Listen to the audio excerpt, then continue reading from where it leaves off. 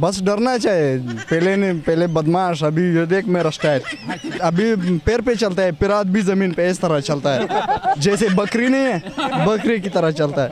हाँ इसमें आई है चेंजिंग चार इंच कम हो गए। चार चलो भाई देखो अब मैं क्या करता हूँ। जिसकी दाढ़ी नहीं है वो दोस्त है जिसकी दाढ़ी है वो दोस्त नहीं है। अरे कहना क्या चाहते हो? ये किस तरह की बात हुई भाई? बस ये तो हमारा अपना दाढ़ी नहीं है। अच्छा। हाँ। तो खान साहब शादी हुई है? यार मैंने नहीं किया इसने किया है। हाँ। पहले दस इंच था अभी छः इंच पे आ गया।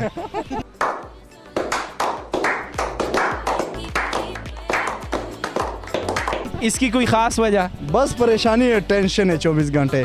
क्या टेंशन है इसको? ये बोल रहा है यार मैं जब दोस्त के साथ बैठता हूँ हाँ। तो फ़ोन आता है घर से आ जाओ घर आ जाओ। तो ये फिर ईमानदारी के साथ चले जाता घर? अब- अभी पैर पे चलता है फिर भी ज़मीन पे इस तरह चलता है। जैसे बकरी नहीं है बकरी की तरह चलता है। कौन है ये लोग? कहाँ से आते हैं अच्छा। तो शादी के बाद काफ़ी चेंजिंग आई भाई में? हाँ इसमें आई है चेंजिंग चार इंच कम हो गए। चार इंच कम हो गया? हाँ। और वज़न के हिसाब से? यार वज़न तो पता पता नहीं है इसका। हाँ। वज़न तो उसको पता होगा जिसके साथ शादी की है। शादी के खान साहब शादी के बाद बीवी से डरना चाहिए कि नहीं? यार फुल डरना चाहिए। नहीं। किस तरह डरना चाहिए? क्यों? बस डरना चाहिए।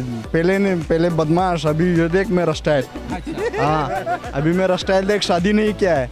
हाँ उसने शादी किया है अभी स्टाइल देख लिया उसका। हाँ से भी भाग गया। हाँ कैमरे से भी भाग गया। तो शादी के बाद आपका किस तरह स्टाइल होगा? यार मेरा बस मस्जिद में बैठूँगा फिर।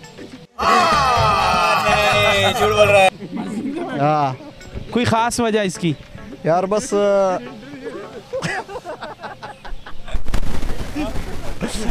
वजह तो है कि मैं तो शादी नहीं कर रहा हूँ ज़िंदगी में। हाँ। क्योंकि मैंने प्यार मैंने एक से प्यार किया है उसने भी धोखा दिया है। एक से प्यार किया अब उसने?